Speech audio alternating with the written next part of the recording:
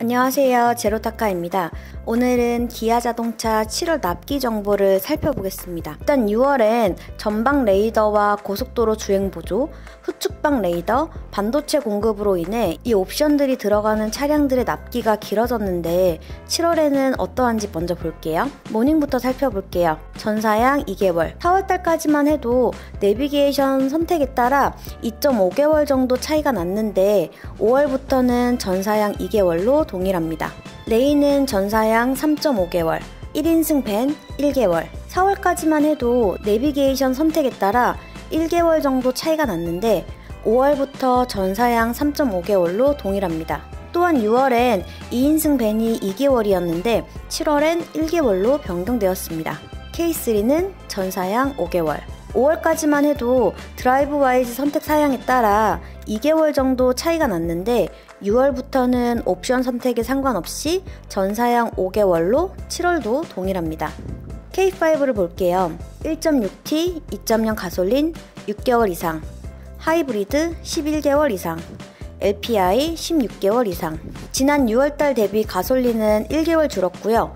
하이브리드는 2개월 줄었고 LPI는 1개월 줄었습니다. 스팅어는요, 전사양 4, 5주. 4월부터 변동사항 없습니다. K9은 전사양 4에서 6주. 5월에 일시적으로 납기가 지연되었지만 6월부터는 회복하여 7월엔 전달 대비 2주 정도 빨라졌네요.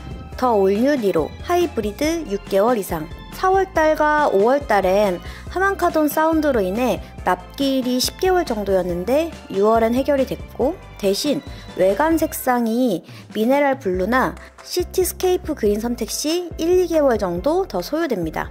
EV6는 전사양 18개월입니다. 올해 1월달만 해도 13개월 이상이었는데 EV6 납기는 점점 늘어 18개월이 되었죠. 개인적인 생각으로는 더 걸릴 것 같은데 계속 18개월이라고 나와서 의심스럽긴 합니다.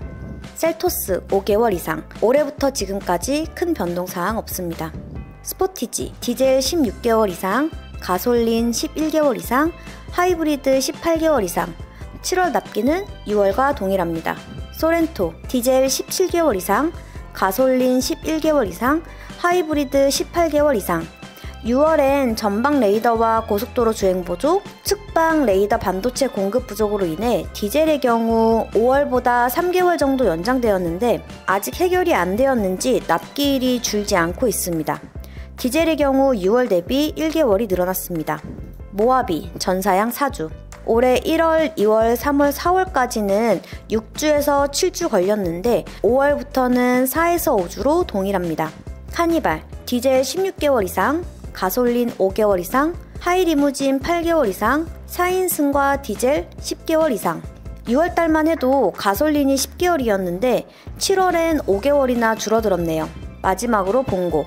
디젤 12개월, EV 7개월, LPI 2.5개월. LPI의 경우 6월보다 0.5개월 늘어났습니다.